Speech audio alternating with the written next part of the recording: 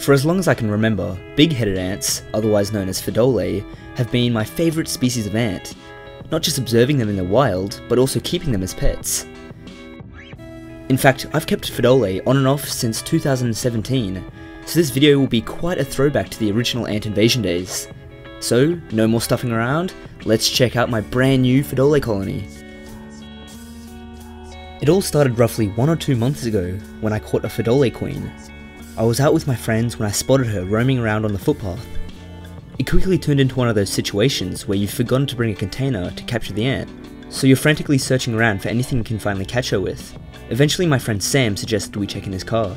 Luckily, to our surprise, we found an empty chewing gum container similar to one of these. It wasn't perfect, however we had to work with what we had. I took her home and created a test tube setup for her, for those of you who don't know, the basic premise of a test tube setup is to simulate the small founding chamber the queen would normally dig in the dirt after mating. The one side with water soaks through, providing the queen with both water and humidity, and the entrance, also blocked by cotton wool, keeps the queen inside while providing a constant fresh flow of air. Weeks went by and before I knew it, the queen had raised her first generation of worker ants, known as nanitics. Nanitics are generally small compared to later generations of worker ants, as the only sustenance the larvae were provided with were from the queen's reserves that she left her original nest with. Therefore, this species would be classified as a claustral species, as the queen solely relies on her own fat and protein reserves to feed her brood before the first workers take over and forage for food for later generations. In contrast, semi-claustral species such as bull ants don't have the fat and protein reserves required for their brood to develop into worker ants. Instead, they must forage for food to sustain their young. Anyway, back to my brand new Pheidole colony. As you can tell by the fairly dirty test tube, this colony has been fed rather well ever since workers emerged. But let's take a closer look at the queen herself.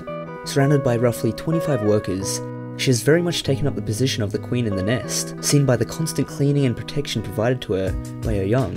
In return, this queen has been pumping out eggs every single day, which are taken care of by her workers. While filming the colony, I noticed something awesome. If you pay close attention, you'll be able to notice the different sized workers. Most of the regular, smaller sized workers are hanging around the brood pile and queen, while the slightly bigger workers are constantly roaming around the nest. It seems that the smaller workers generally act as nurses, tending to the brood and cleaning the queen, while the bigger workers are a rank above and seem to somewhat keep the smaller workers in order. In this specific clip, watch how much more aggressive the bigger worker is to the smaller caste. This is one of the reasons I love Pheidole so much, as they have so much character between the different castes in the colony. Speaking of castes, the colony is still waiting for major workers to emerge. This is where Pheidole get their name big-headed ants. This is because the major workers have huge, muscular heads, perfect for chopping up tough exoskeletons or seeds. Here you can see a worker carrying a major pupae, the last stage before the brood develops into a worker ant. However, due to the major's smaller size, it has led me to believe that there could be a possibility of the colony producing super majors, which would dwarf all other castes. A prime example of big-headed ants producing super majors is within the species Pheidole antipodum, which from what I've seen is probably one of the coolest species to ever exist. However, we can only stay hopeful for now. I decided to offer the colony some honey, but first I had to remove the old spider's leg that I fed them recently. Because this colony is so small, I just dipped the tip of a blunt syringe into some honey before dabbing it onto the side of the test tube. To avoid mold, I would recommend placing any honey or food onto a minuscule sheet of paper or aluminium, as no residue is left behind when removing old food. However, this colony is in need of a new test tube anyway, so I couldn't be bothered.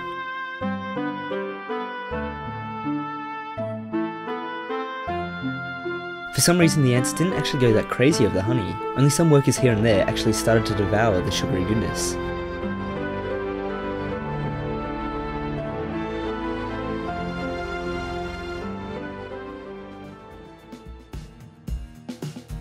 Maybe the colony would prefer some protein rich food. I decided a freshly killed spider would be the go.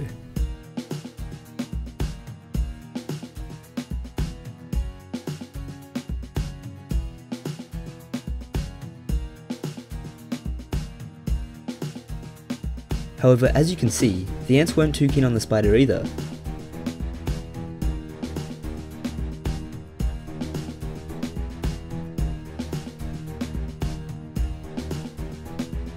Perhaps they couldn't access the juices inside the spider that well, so I crushed it up a little bit further to give them a hand. Yet to my surprise, they still weren't destroying the source of protein. Perhaps their last feed was sufficient. Let me know in the comments section down below why you think the workers weren't hungry. I'd love to hear your thoughts. While filming some time-lapse footage of the colony, I noticed that the queen was acting ever so slightly strange. Was she about to lay an egg for the first time on video? I continued filming her changing the angle to a better shot, however we must have missed it this time, as she never laid an egg for us to see. As this video comes to an end, I hope you're already as attached to this colony as I am. So in spirit of that, I think we should give this colony a name.